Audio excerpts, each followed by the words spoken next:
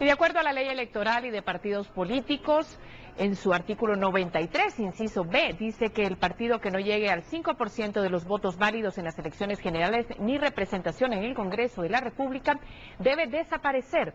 Y hay una resolución publicada en el diario oficial emitida por el Tribunal Supremo Electoral que indica que los partidos políticos Centro de Acción Social Casa y Acción de Desarrollo Nacional ADN quedan cancelados.